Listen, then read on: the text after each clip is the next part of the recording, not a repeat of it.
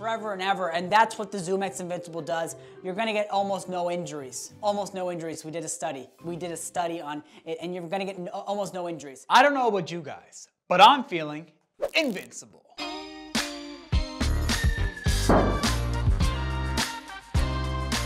I just have to be honest. Historically, I've hated Nike shoes. They've been too narrow for me, the, the foam has been too firm, just the shoes have not been great, or my experiences anyway, have not been great with Nike shoes. So I was really hesitant at buying the ZoomX Invincible, but I do like the ZoomX foam. I, I love my Next Percent. I don't have an Alpha Fly, but I, I thought a full-length ZoomX shoe would be quite intriguing. So I pulled the trigger and my wallet is a lot lighter because of it. And yes, I did buy this shoe with my own cold hard-earned Canadian Monopoly money. But anyway, that's enough on that. Let's get into my experiences.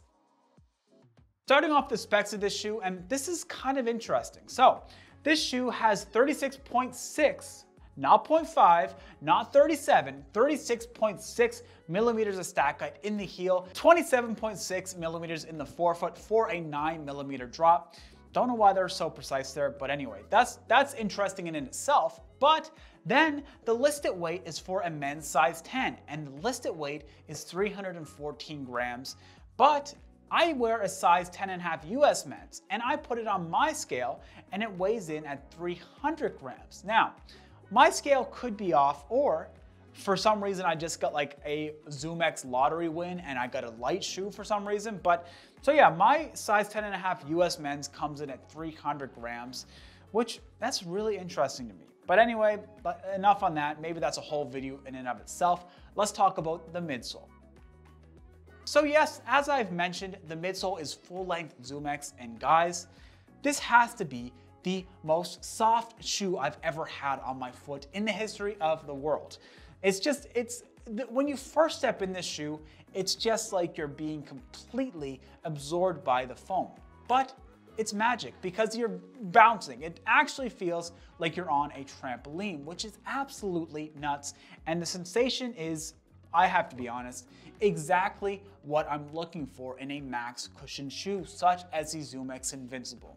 Now, I've tried many max cushion shoes over the last year, but none have felt like this ZoomX midsole foam. But because this foam is so soft, I was concerned that I'd be completely unstable out there and my ankles would be rolling every which way and I would probably get an injury from this shoe. But because they make the base of this midsole so wide, that's not what I've been feeling at all. It actually feels relatively stable when I'm out there running. In addition to the heel clip they have on the upper, but we'll get to that when we talk about the upper. But yeah, so this foam is extremely soft. You sink right into it, but the magic of ZoomX just starts sprinkling in its little pixie dust and bounces you on your next stride. That's exactly how I'm gonna describe the feeling of this midsole, but not like the Next Percent. You're not bouncing forward, you're kind of oscillating up and down. That's the best way that I can describe the feeling of this ZoomX midsole in comparison to a ZoomX midsole that has a plate. The ZoomX midsole in the ZoomX Invincible, you do bounce a lot and uh, it does make you feel like you're, you're running relatively fast or if you're not running fast, going easy just feels so easy. It's really absorbing all of that impact. There's absolutely no ground contact feel. You, you barely know that you're on the ground to begin with. You feel like you're on a trampoline. For me, when I'm out there running along, when I land at the heel of this and roll through, it feels absolutely fantastic. I'm a heel striker, so keep that in mind. I get a mouthful of ZoomX when I first land. Through the midfoot here, it's completely loaded with ZoomX. And by the time that I reach the forefoot and I'm about to toe off, that sinking feeling definitely dies down just because there's not as much ZoomX in the forefoot, so that's to be expected. It's so good, guys. Like the ZoomX midsole in this shoe is exactly what I've been looking for in a easy day and daily trainer, and it's gonna be hard for me to really wanna run anything else at this time. Like it's just, this midsole, um, I hate to hype it up so much. There are issues with the shoe that we'll get to, but the midsole, guys, I have to give it a three out of three because it's exactly what I've been looking for. I want a shoe that I can sink into, but will also bounce right back up for me. And guys, that's what I'm getting. That's the sensation I'm feeling in the ZoomX midsole. It's nice and wide, so I'm not getting really a bad pronation. Just, it's just, it's treating me so well right now. Three out of three. Now, I have a quick word for my Nike shoe engineer to tell you guys a bit more about the ZoomX midsole. My name is Nathaniel, and I work on the Nike shoe design team. The team and I decided to come up with the Invincible runs for a couple of reasons, but mainly because we knew a shoe with full length ZoomX would create tons and tons of hype, we could sell a bunch of units, and me and the shoe design team would get a huge Christmas bonus, and well, we could buy. I mean, um, we decided to use full length ZoomX for its rebound properties and its protective nature to keep you runners running longer. Do you think they believe me? If you're enjoying the video, why not hit that subscribe button and maybe the like button? Love to have you. All right, let's get back to the video. Okay, so this upper, I guess, is a Flyknit. Now, like I said, I don't have much experience with Nike shoes because I don't really like them. But what people are saying is it isn't actually like a true Flyknit material. Sure, it doesn't matter to me. I don't really know what it feels like. But for this upper to me, it does feel a little bit cheap, I have to say. And I'm a little concerned with how the durability of the upper itself is going to hold up, but I don't know exactly. Anyway, let's get back to the heel here. So like I mentioned, it has a little clip here. And I guess what they're trying to do with these clips in the ZoomX Invincible and also in the Infinity React is give you a bit more stability so your heel's not rolling around as much. And like I said, I don't feel this shoe to be too unstable. So is the clip doing its job or the wider base doing its job or a combination of both? Who knows? All I know is it doesn't feel unstable. The ankle collar is quite plush and plush in ways that doesn't make a whole lot of sense. Now, I can understand a plushness inside. That makes sense to me, sure. But why would you have extra padding like on the outsides here and around there? Makes almost zero sense. All that's gonna do is absorb a bunch of water, get all sweaty and nasty, and make this shoe really heavy on damp days. Doesn't make a whole lot of sense to me, but sure, I don't get it. The tongue here, it is gusseted. I, you know how much I love a gusseted tongue, so Ding, ding, ding, ding, ding. They did something right with the tongue, although it is, I find, a little bit short.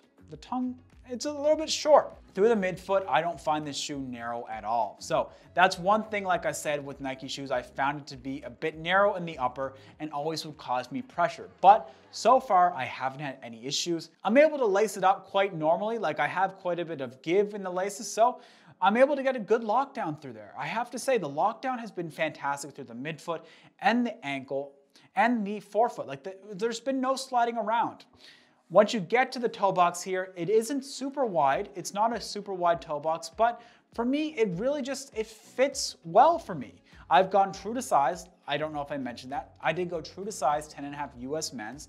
And the upper has been, it fit relatively well. It's comfortable. A lot of questionable decisions though. Uh, like I said, I don't know why they added in this extra padding and the like extra structured overlay and the reflective material here.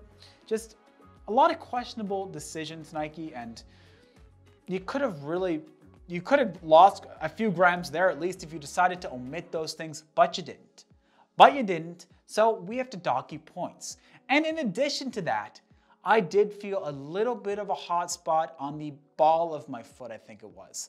I'm not sure if I should, I don't think that's so much the upper. And I, like I said, I didn't feel my foot sliding around, so I'm not quite sure why I felt that hot spot at after about, I think it was around five kilometer mark, I started to get, started to get a hot spot on the ball of my foot. Don't know why. I didn't feel like I was sliding around. I didn't feel any rubbing, but it's definitely gonna be something I'm gonna be aware of. And because of those things, because of the questionable decisions, because of the potentially blisters that I'm gonna get from maybe not the upper, but the, something going on up here, I have to dock at points.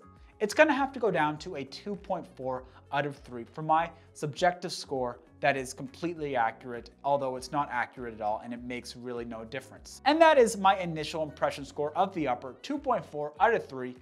Let's move on to the outsole after a word from the Nike executive team.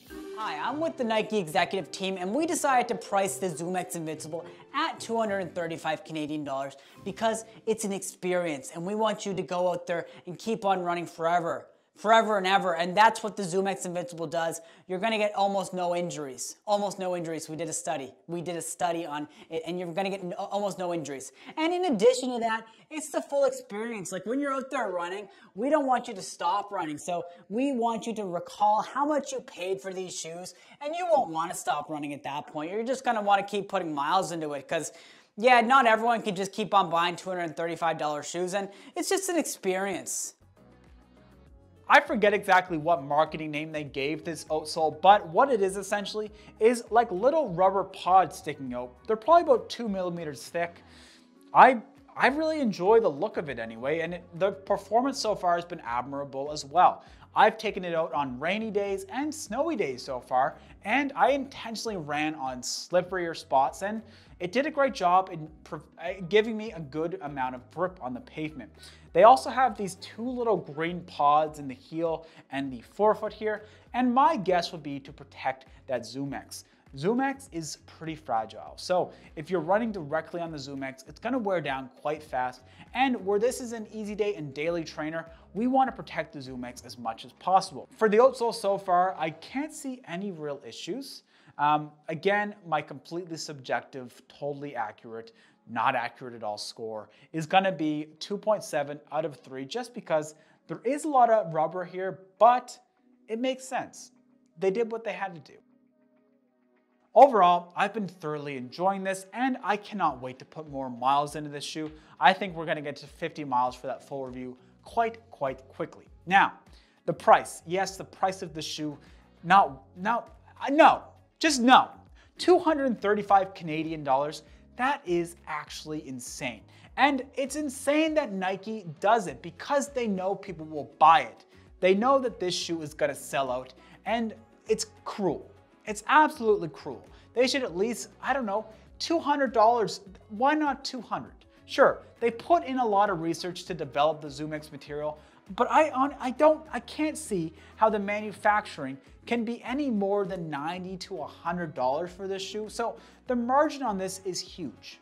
It's huge. Anyway, guys, that is my thoughts on the Nike ZoomX Invincible after about 10 miles, my first impressions. Now, let me know, what do you think about this shoe? Have you tried it yet? Are you gonna try it? Or are you completely appalled by the price? Hope you guys have a fantastic evening. I hope you enjoyed the video. And if you wanna see a previous video on a shoe review, I did the uh, Glide Ride 2, which is a different shoe, a really different shoe, but equally, I really enjoyed that shoe as well, but a different feeling altogether. So leave that right up here, and I hope you have a fantastic day.